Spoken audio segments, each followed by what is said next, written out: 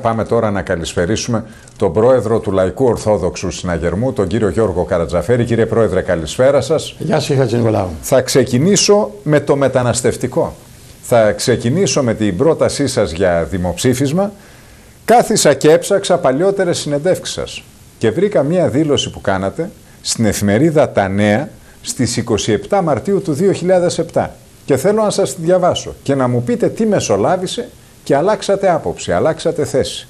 Λέγατε τότε, η ερμαφρόδητη κατάσταση που επικρατεί σήμερα προσβάλλει τους μετανάστες αλλά και την εικόνα της χώρας η οποία αρνείται πεισματικά να πάρει θέση σε αυτό το φλέγον θέμα.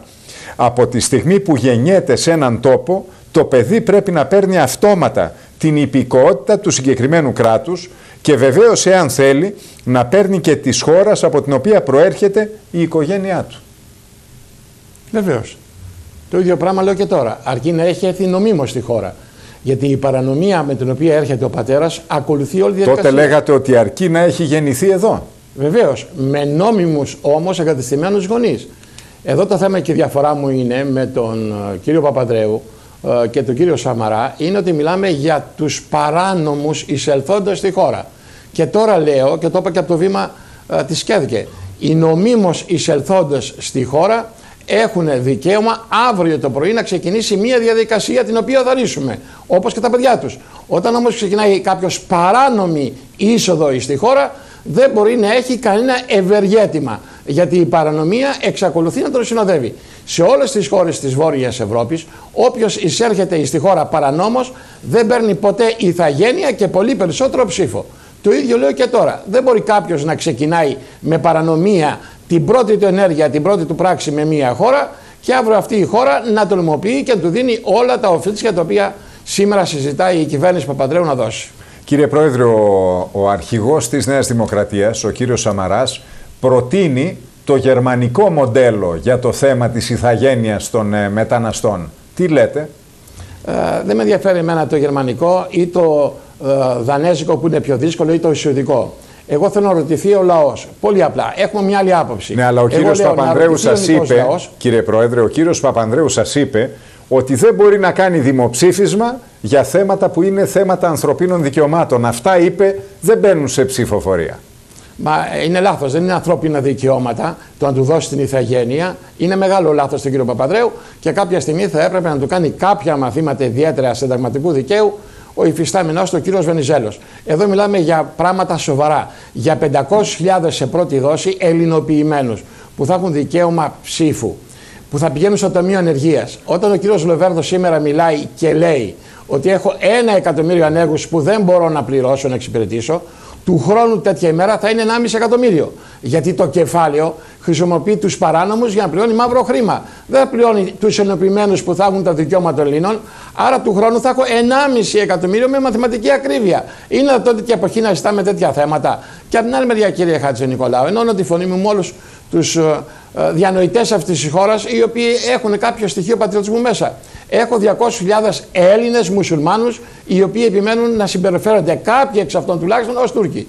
Να προσθέσω άλλους 500.000 μουσουλμάνους. Δεν θα γίνει κόμμα αύριο το πρωί μουσουλμάνικο όπως είναι στη Βουλγαρία και έχει πάρει επάνω και δεν μπορεί να κάνει τίποτα, έχει καβαλήσει. Είναι δυνατόν σήμερα με τέτοια σύνορα έφλεκτα Τουρκία, Σκόπια και Αλβανία. Εχθές μόλις, εχθές μόλις έγινε τα επίσημη, η επίσημη παρουσίαση α, της εγκυκλοπαίδειας της α, Ακαδημίας των Τυράννων όπου ο χάρτης της Αλβανίας φτάνει μέχρι την αφιλοχία. Δηλαδή, τι πάμε να κάνουμε, πάμε να βγάλουμε τα μάτια μας μόνοι μας; Δεν χρειάζεται. Εάν κρίνει ο νικός λαός, να καθίσουμε και αστηθούμε πίσω από τον νικό λαό. Εγώ λέω δημοκρατικά, δημοψήφισμα και ο λαός να αποφασίσει. Ο λαός όμως σε όλες τις δημοσκοπήσεις, φυγομετρήσεις που γίνονται σε ραδιόφωνα και στο Real FM αλλά και σε άλλα ραδιόφωνα και σε άλλες τηλεοράσεις και άλλες εφημερίδες η συγκλονιστική πλειοψηφία λέει όχι. Ε, γιατί φοβούνται το λαό, γιατί κάνουν κάτι ερήμη του λαού, γιατί φέρονται μπαμπέσκα στο λαό; Γιατί δεν το είχε πει ο κύριος Παπαδρέου αυτό σε καμία πλατεία και δεν το είχε πει και στο debate. Αφού εξασφάλισε 160 βουλευτές, λέει στους Έλληνες: Τώρα θα σας βάλω 500.000. Γιατί το κάνει; Το κάνει ο κ. Παπαδρέου και ο κ. Νικολάου, επειδή ξέρει τα μέτρα τα οποία αναγκαστικά θα πάρει δεν θα είναι καθόλου δημοφιλή και επειδή έχει εκλογές σε 8-9 μήνες, φτιάχνει ένα νέο σώμα εκλογικό για να μπορέσει αύριο να έχει μια καλή εμφάνιση. Γιατί με τις ελληνικές ψήφους, πολύ φοβάμαι ότι ο κ. Παπαδρέου γνωρίζει ότι τα πράγματα θα είναι δύσκολα. Μάλιστα. Δεν θα πληρώσουμε όμως εμείς όλοι οι άλλοι τα παιχνίδια, τα κομματικά, τα πολιτικά του κ. Παπαδρέου. Τώρα θέλω να σας ρωτήσω για τις άλλες δύο πρωτοβουλίες του Γιώργου Παπανδρέου για τον Καλλικράτη και για τον εκλογικό νόμο. Καλλικράτης. Κινείται προς σωστή κατεύθυνση. Όμως, κύριε Χατζηνικολάου, όπως είπα και σήμερα, θα έχουμε και οικονομία από αυτή τη συγκέντρωση. Θέλουμε 4,5 δις για να εφαρμοστεί και Σωστό. για να έρθει. Μετά... Έχουμε να το χρηματοδοτήσουμε 4,5 δις τώρα. Εάν έχουμε, ας το πει. Εγώ ξέρω ότι ψάχνουμε για 100, για 200, για 300 εκατομμύρια.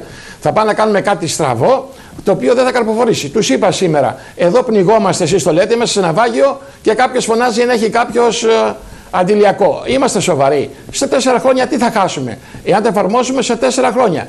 Να φέρουμε και το Σύνταγμα σε μία εναρμόνιση, το οποίο λέει μερικά πράγματα που δεν συμφωνούν με αυτά που θέλουν να κάνουν και να προχωρήσουμε επόμενη τετραετία. Τι μας βιάζει τώρα εδώ και τώρα; Είναι ακριβώς εκεί το πλαίσιο που θέλει ο κύριος Παπαδρέου με τον κύριο Ραγκούση ε, ως μακριχέρι να εφαρμόσει. Αλλάζει εκλογικό νόμο, αλλάζει το αυτοκινητικό χάρτη για να μπορέσουν να καθίσουν επάνω για καλά. Ε, αυτό δεν είναι δημοκρατία. Επομένως λοιπόν, εγώ το αποκρούω ακριβώς γιατί σήμερα δεν μπορούμε να το εφαρμόσουν. Όσον αφορά τον εκλογικό νόμο, ε, προσπαθούν να κάνουν ένα, ε, ένα νόμο κοστούμι. όπου ο αρχηγός αποφασίζει και δεν νομίζω ότι χρειάζεται κοινωνική ομάδα. Βγάζουμε την Κυριακή το βράδυ 15-150 βουλευτές, εμφανίζεται ο αρχηγός και τελειώνει η υπόθεση. Γιατί τους διορίζει πλέον. Δεν μιλάμε για εκλογή, για διορισμό. Γιατί να πλατείνουμε τη δημοκρατία μας, κύριε Χατζηνικολάου, και να εκλέγονται οι ευρωβουλευτές, διορίζουμε ευρωβουλευτές, τώρα θα διορίζουμε και τους βουλευτές. Ε, όχι, δεν έχει την αξία, δεν έχει τη δημοκρατική επένδυση που πρέπει.